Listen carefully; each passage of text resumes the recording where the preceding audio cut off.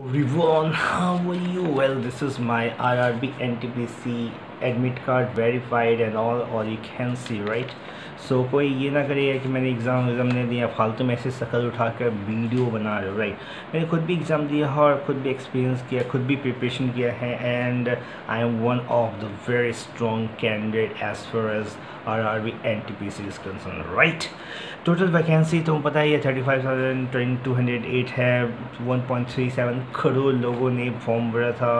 और अगर मान लो अटेंडेंस की बात करें यार अगर सिक्सटी परसेंट भी लेके चल रहा हो तो यार eighty two lakh twenty thousand तो होते ही। अगर सेवेंटी परसेंट करते हो तो ninety five lakh ninety thousand बनते हैं। तो यार हम on an average sixty five लेके चलते हैं राइट ठीक है? तो अभी अभी जैसे मिनिमम क्वालिफाइंग फोर्टी परसेंट है for the general and E W S economical weaker section right यार, एक चीज़ यहाँ पे मैं ज़रूर कहना चाहूँगा यार कि ये दिस इज़ मतलब इतने मार्क्स तो चाहिए ही, अगर इतने मार्क्स नहीं आ रहे तो तुम इन नहीं हो सकते, तुम आउट हो, तुम रेस से ही आउट हो जा रहे हो। अगर तुम इतने मार्क्स नहीं ला रहे तो तुम डिसक्वालीफाई हो जाओगे। ये चीज़ समझना ज़रूर। ओ बी सी के लिए थर्टी परसेंट मिनिमम चाहिए ही चाहिए। एंड एस सी के लिए भी thirty percent and S T के लिए ट्वेंटी फाइव परसेंट मिनिमम अगर इससे कम आ रहा है तो you are disqualified in every circumstances right और you know two thousand twenty में जो R R B N T P C के एग्ज़ाम हो रहे हैं even two thousand twenty one में हो रहे हैं actually one phase is still remaining and that is most probably going to take one week or maximum 10 days because 10 to 11 lakh of students are still in queue to give RRB and TPC right? So pattern uh, भी थोड़ा अलग है two thousand fifteen से pattern तो अलग है जैसे G S in J that is forty maths is sorry and reasoning is thirty right तो इस वीडियो में हम आर आर बी अजमेर की बात करेंगे। अजमेर का कट ऑफ़ क्या हो सकता है? What would be the cut off of R R B Ajmer? यार ऐसे भी थोड़ा सा हम एक, एक और बात करना चाहूँ। क्वेश्चन पैटर्न अलग था।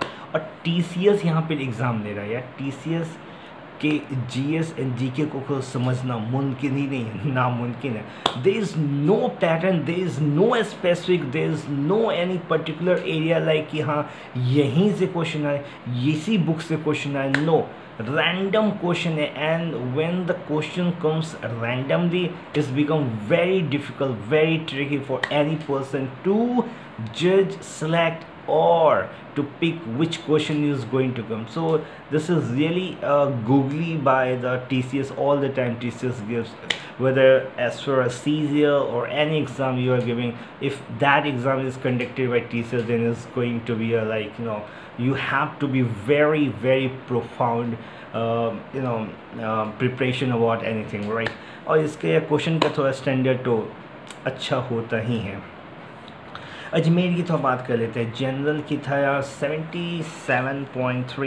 बी सी का था। 2015 की ये बात कर रहा हूँ राइट 70.93 एससी का था 62.13 एंड एसटी का था 59.74 अगर मैं 2020 की बात करूँ तो क्या तुम्हें क्या लगता है वही रहने वाला? नहीं यार ऑफ़ कोर्स नहीं यहाँ नहीं रहने वाला और उस समय वैकेंसी भी 18,000 करीब थी यहाँ 35,000 लेकिन भीड़ भी तो ज़्यादा है ना ब्रो तो मेरे अकॉर्डिंग मेरे अकॉर्डिंग जनरल का जो cut off C B T one के लिए 77 तो नहीं जाएगा।